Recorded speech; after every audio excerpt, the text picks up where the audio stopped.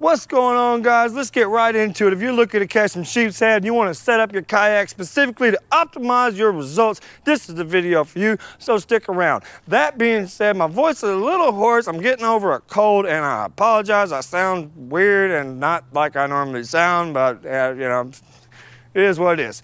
All right, so let's get into it. The kayak that I went with specifically for sheep's head fishing is the Old Town Big Water aka the Old Town Predator. That's what the old version was called. They just changed the name to the Big Water and they didn't really change anything else. It's the same kayak with a different name. They just, I don't know.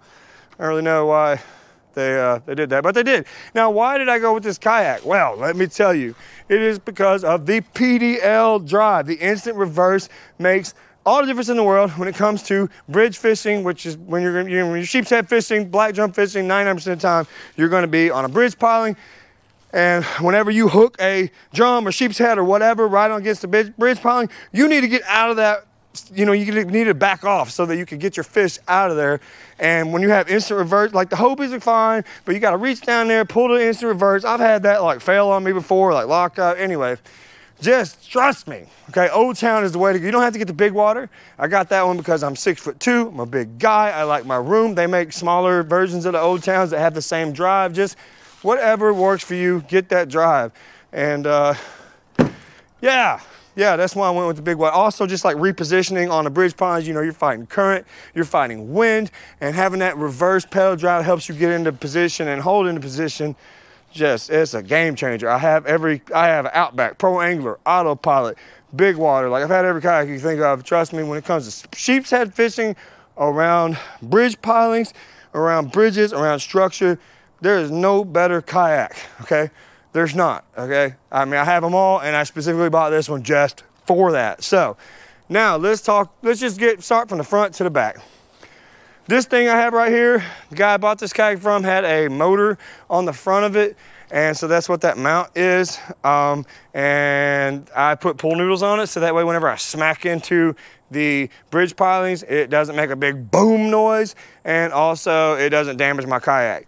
99% of you guys probably don't have that, but if you can find some way to like put foam or something on the nose of your kayak somehow to keep from damaging it, I highly recommend it because otherwise I probably would beat the crap on my kayak already.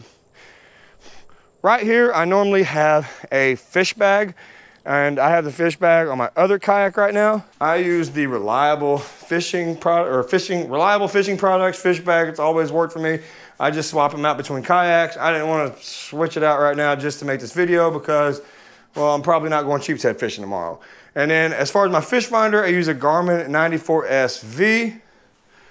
Again, same scenario. I, I swap all my, I'm not gonna buy double of everything, it's too expensive. But I have, uh, I swap them out between kayaks, so that's why it's not here on this video. I got my other kayak because I'm probably taking that one fishing next. The way I connect the fish bag, I put these bungee cords around the front handle right here, and then I have um, padlocks that I drilled into my kayak there and there, and I connect to it with carabiners. Okay, let's get into the meat and potatoes. Also guys, I do wanna let you know I'll have um, uh, links in the description to all this stuff for as much of it as I can find. Some of them will be affiliate links, so I might earn a little money if you buy through those links, and I appreciate the support because I, I, like money, you know what I'm saying? I, who doesn't like money? Anyway, so what is this goofy looking thing hanging off of the side of my kayak? That is live scope. Now, what is live scope? Because, you know, if you're not, unless you're a bass fisherman, you may not have ever heard of it because I didn't know, well, I mean, I heard about it, but I was like, eh, bass fishing, I don't bass fish. Anyway, let me tell you what it does. So let's pretend that that tree is a bridge piling. I can set this thing, it connects to the fish finder that, pretend the fish finder's right there, it's normally where it is. Okay, I can literally point this at my, at the tree, okay, and it will show me every fish, or if there are fish under that tree or not, or under the bridge piling, like in real time. Like it's not like a fish finder how it goes, you know what I mean? Then you gotta wait for another image to come up. Nah, bro. Real time, you can see the fish swimming around like pretend my finger is a fish and it's under the tree. It'll be like, blah, blah, blah, like you can literally see it. And you can drop your bait down right in front of the fish and you can see it in real time. You can see if the fish runs away from it, if they get spooked. You can see if the fish tries to eat it. Like, no, it's crazy. It's like next level. Okay? It's not cheap, it's like $2,000 and it's not required, but I, it definitely, it definitely helps, okay? So what, like the main thing that I noticed that has given me advantage is I don't, I no longer fish dead zones. Like you'll see fish on a bridge piling sometimes, sometimes hard to tell if it's a sheep's head, maybe it's drum, maybe it's pinfish. You know, it really takes experience to, to tell the difference and I'm getting there. I'm not a professional at it yet, but the main thing that has helped me do is avoid dead zones. You get to a bridge, there's like 150 bridge pilings and you don't know which one's a fish. You just start dropping down on random pilings hoping that you get a bite. No, with this, I can go, I can scan every piling and I know if there's fish there or not before I ever drop down. And if there's not fish there, then I don't drop down because what's the point? You know what I'm saying? So anyway, it's a game changer. It's not cheap, so not required, you know. You can, I mean, I think I'm the only idiot that I even know that has it, but, uh, uh you know, that's not a bass fisherman, but it's, it is pretty nice. It's pretty nice. Okay, moving on. Kayak cushions, I have a kayak cushion on every kayak I own. Changes the game. It like is the most comfortable thing ever. I've had a couple of back surgeries and like I can sit in my in my chair for like, you know, eight hours if I need to um, fishing and like my back doesn't hurt nearly as bad what it would if I didn't have them there. So it's definitely a game changer. Um, what do I use to power the live scope? I have a 30 amp hour Nocqua battery that I plug directly to the live scope and a 20 amp hour battery powers my Garmin that's normally sitting right there. You can get one of those units that like you can have one battery and everything that you, all your electronics will run off of it, but they say don't do that with live scope because you need like clean direct power to it or else it can mess with the image. I don't have any personal experience with that. It's just what a bunch of videos I watched said to do when I was doing research on this. So I just did a straight connection to one battery just to avoid the problem because when it comes to electronics, I'm known to have a lot of problems and I just want to do everything I can to not have those problems. All right, so this is my catch board. It's uh, just a big ruler. It's lightweight, it's nice, you know, it's a ruler. But the, the reason why I got the catch board is in case I ever want to fish tournaments. Most tournaments require a catch board. You can get a cheaper one if you're not concerned with that, but the catch board is nice. And again, if I, if I want to fish tournaments, I got it. So anyway, um, this is a shovel. I use that to beat barnacles. I use that to beat barnacles and oysters off the side of pilings. You can get a shovel anywhere, but uh, that's the one I use. Um, let's see, what else? Let's see. Let me move these batteries out of the way here. So as far as how do I wire all this crap, um, I, I didn't drill any holes because I switch all my stuff back and forth between my other kayak a lot. So I just shove everything into here and then like just kind of slam this on top of it and close it the best I can before I go out. Um, probably not the, you know, it may not be the most professional, clean looking thing to do, but it kept me from having drill holes. And, you know, if I did drill holes and run wires through the kayak, I would not be able to switch. I'd have to like literally unscrew crap. And mm, I mean, you're not going to do that. So um, I, I, did it that way so that I can easily, um, you know, I'm swap back and forth between kayaks. If you're like dead serious about getting this live scope and you want to see exactly how it all works and how to like, um, wire it. I'm sure there are tons of other videos on YouTube. I'm not like great at wiring stuff. I got the job done, but you wouldn't want to watch a tutorial from me. All right. as far as my leashes go, I use Never Lost Gear leashes on everything. I got scissors. I got, oh, small fish grips. When you're sheep's head fishing, you want the small ones. The big fish grips do not fit in a sheep's head's mouth very good. They got those small, narrow mouths. Smaller ones work better. Um, and then I just have pliers over here. Oh, this right here. This is the boomerang. Um, Snips, I do not cut line any other way. I don't use my pliers for line anymore. These are cut braid, fluorocarbon mono, whatever.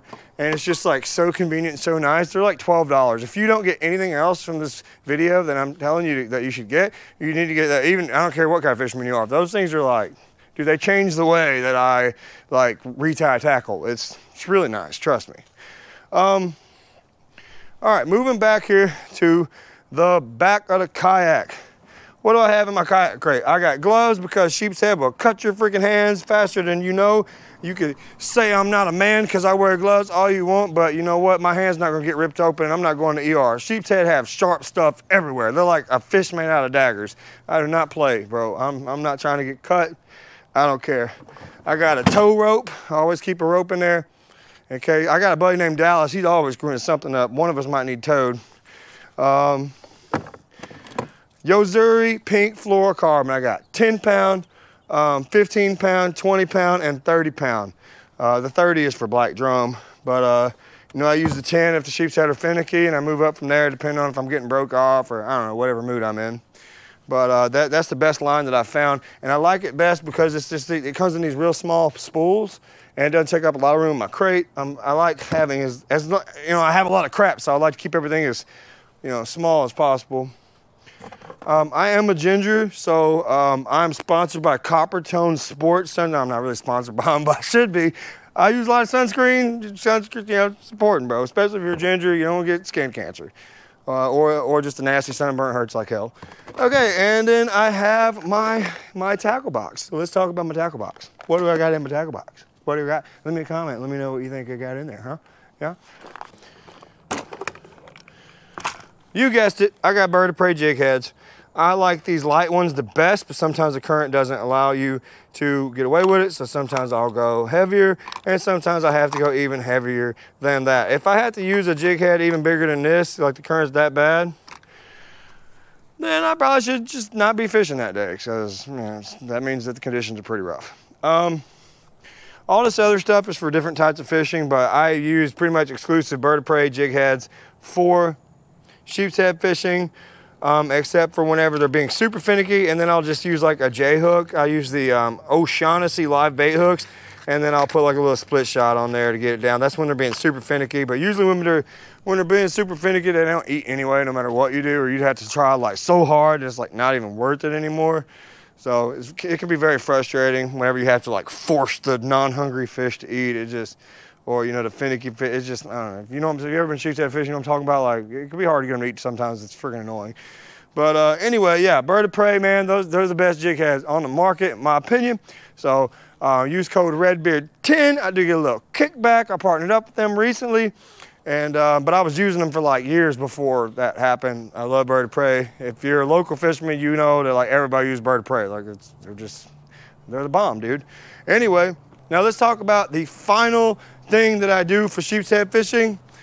And uh, this right here is like real smart. I come up with this and I was pretty proud of them. It's a pretty smart thing to do here. So I bring two different rods. One is the toadfish. One is the toadfish convict rod. It is five foot 11 inches. Now this one is for fishing in tight quarters where like you got a bunch of pines around you, you don't have much room, whatever. It's short and sometimes you get situations sheep's head fishing around bridges where like you just don't have a lot of room to set the hook or back out of there, whatever. So having a shorter rod can really make a difference. The problem is, like let's pretend I'm sitting right here, I'm standing in the same spot. Look, it does not reach the end of my kayak, okay? And so I can't fish off of the front because like you want to be right up against the piling. If I just do this, I'm going to be like, you know, one, two feet off of it. And that's not good. You're probably not likely to hook up. now, let me explain what I'm talking about in case you're not experienced, okay? When you're sheep's head fishing, most of the time um, the sheep's head are going to be in the calm spot of the water. The, um, dang, the eddy. They call it an eddy. And what that is like, let's say that the current is like, let's pretend that this tree is a bridge pine, okay? I keep using my tree as a bridge pine, but the water is, the current's going that way. It's going that way towards the house, okay? Now, the, the tree is gonna block the flow of water right here, and that's where you're gonna wanna fish. So you wanna take your nose of your kayak, okay, and ram right up against that tree. And then that way you're not getting blown off of your spot because the piling is keeping the water, keeping the current from pushing you away. Okay, that's also most likely where the fish are gonna be sitting because all the food source is gonna be coming to them. Current's gonna be carrying a bunch of food to them, right? Theoretically.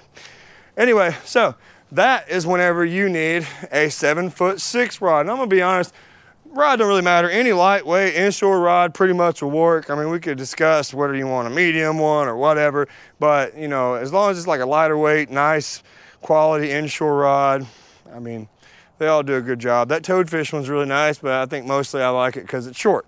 But anyway, if I'm sitting here like this and I got this rod, this one's what, seven six? Yeah, seven six. Look, see where the tip of it is? It's on the end of my kayak. Especially if I extend my arm, hell now it's in the front, it's in front of my kayak a little bit, see? so I can fish right up against the piling when my nose of it's in there. So, yep. And I use, again, of course, bird of prey jig heads on both rods.